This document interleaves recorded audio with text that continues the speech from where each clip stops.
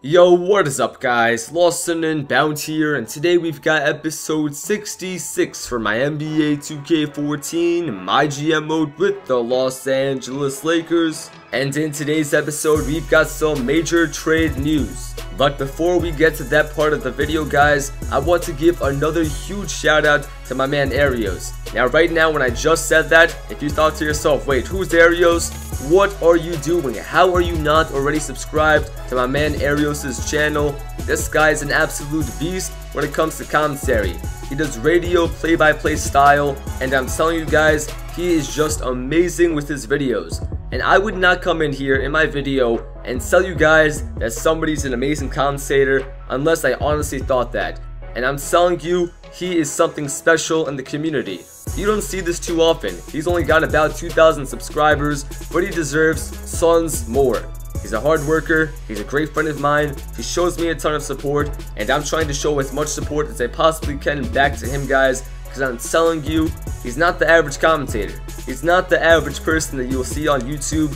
He is something different, and we could use people like that in the community. It's always refreshing to see those new styles, those new aspects of commentating, and this guy, he does sound exactly like a professional. So as a favor to me, as a favor to him, please go ahead, take a look at the description, make sure you click on his channel and subscribe to him over there. I promise you, I promise you that you will not regret it. Alright guys, now getting right back into this video. So this trade you see right here, Joakim Noah, Nick Young, and DeAndre Liggins in return for Marcus Gasol from the Memphis Grizzlies. This was a trade that we were taking a look at a few episodes ago. I had you guys vote on it in the comment section, and usually when we do votes, it's either 90% of you guys saying yes or 90% of you guys saying no. Now this trade, this vote was extremely close. It came down right to the middle. And I thought to myself, you know what? Let me give Joakim Noah a game. Let's see how he does. And that's why in the last episode, we played with Joakim Noah in the lineup. He was the starter. And to my surprise, he did not play just average. He actually did extremely solid. He was getting the offensive boards, he was scoring in the paint, he was playing defense well on the inside. He did some good work for us. But that was not enough to convince me to not pull the trade. What did convince me to hold on to Joakim Noah was something that you guys were saying in the comment section. Now guys, this is why I always ask you, let me know your opinions in the comment section. Because there have been so many times where you guys give me great ideas in the comment section, great points, and sometimes I use those ideas in my video. Now the point that you guys made in the comment section was, you know what, I know Joakim Noah, he does have an expensive salary for $14 million per year, but this is his last season. After this season, we can resign him for a lower amount. I doubt that he will be asking for $15 million a year. He will probably be asking for anywhere between 5 to 10, and that would be reasonable for a player of Joakim Noah's caliber. Marcus Gasol, on the other hand, he is signed through 2018, and the salary would not help us at all, so we will decide to decline the offer. Now take a look at this. I remember we were talking about Dante Exum being off the bench and how important it is to keep him happy while still making him a six man. But right now as you can see, he's starting to get frustrated. Minus 3 rating, and look at that, zero morale. Exum feels like he is an impact player, which he is, on most teams, and would like a chance to prove himself to another organization. Please trade him if you can. Now as of now, Dante Exum is playing great for us as the sixth man, but you know what guys, he has a two year team deal, right now we are in the second year, and if he's gonna stay unhappy, number one, his play will not be as solid, and number two, he's just gonna leave in free agency. So even though he is a player that I want to keep on this team. I'm not too sure how much longer he's going to stay. So guys, after taking a look at the trade finder, this is one of the results, and this is what we have come across. Dante Exum and our 2017 first round draft pick in return for the 22 year old Marcus Smart. They both came from the same draft class, and Marcus Smart is a very solid player. 83 overall, he could run the backup point guard position. So there are two ways to think about this. First of all, you might say to yourself, you know what, Dante Exum's probably gonna leave either way. We might as well trade him for a young and talented point guard like Marcus Smart. But on the other hand, What if Marcus Smart is also unhappy about being off the bench? What if he complains about being a sixth man and then his morale would also drop? In that situation, this trade would be a waste, but hey, it might be worth the risk. So what I need you guys to do is to let me know down below in the comment section, trade or no trade. Should we hold on to Exum or should we go for Smart? Let me know guys in the comment section because a lot of you guys have been following this series for a long time.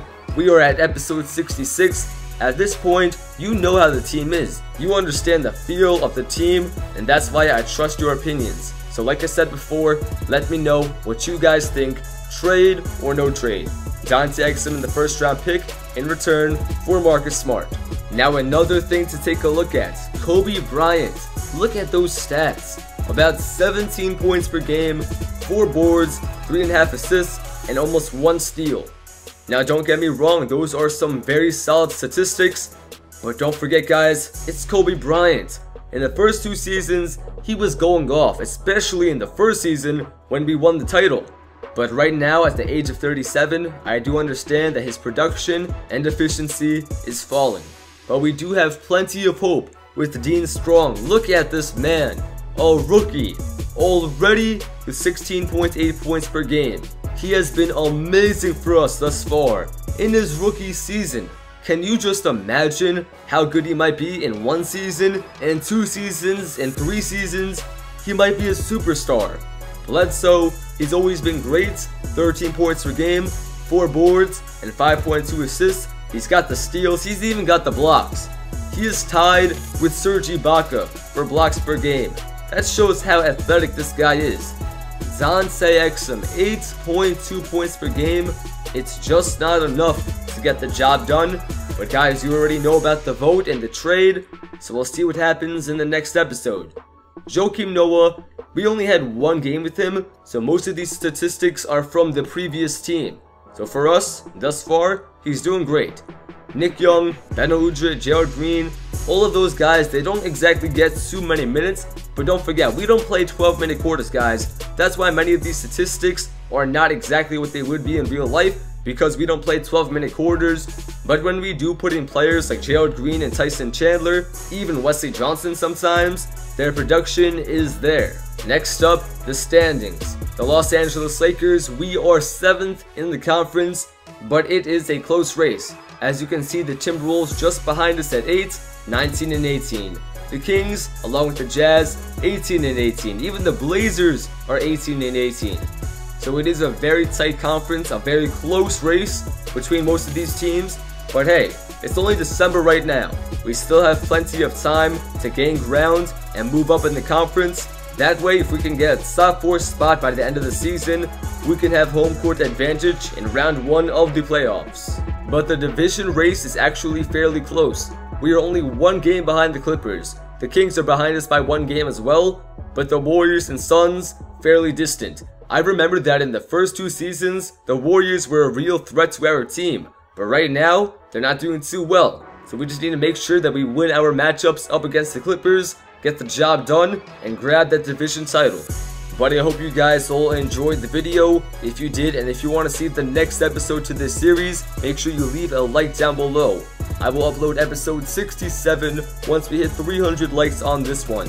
If you're new to the channel, make sure you subscribe to join LNU Nation for your number one source of full NBA 2K14, my GM mode, my team, and Suns more to come.